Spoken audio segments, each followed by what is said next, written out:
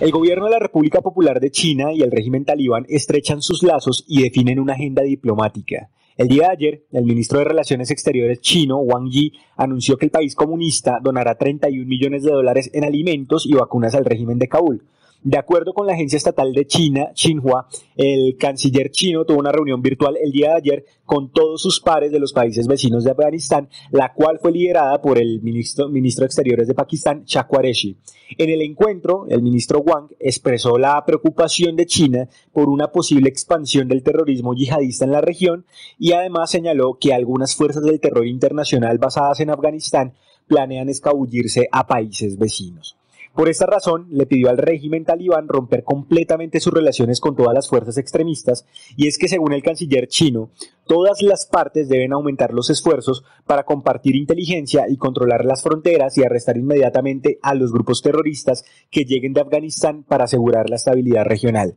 Además de esto, Beijing expresó su interés en que los países vecinos ayuden a Afganistán a salir del caos. El gobierno de la República Popular de China aplaudió la conformación del gobierno talibán, manifestó que era un paso necesario para darle fin a lo que calificó como tres semanas de anarquía. De esta manera, se hace evidente el interés de China en estrechar lazos con el régimen talibán,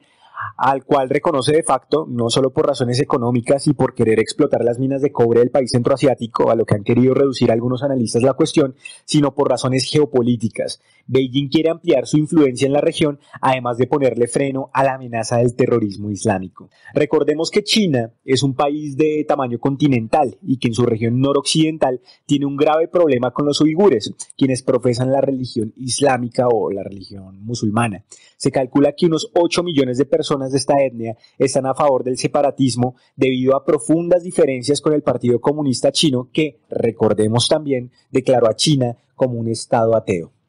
¿Creen ustedes que estrechar lazos es una buena estrategia de China o creen por el contrario que podría significar un riesgo para los intereses de, Beijing al reconocer y al legitimar un gobierno terrorista?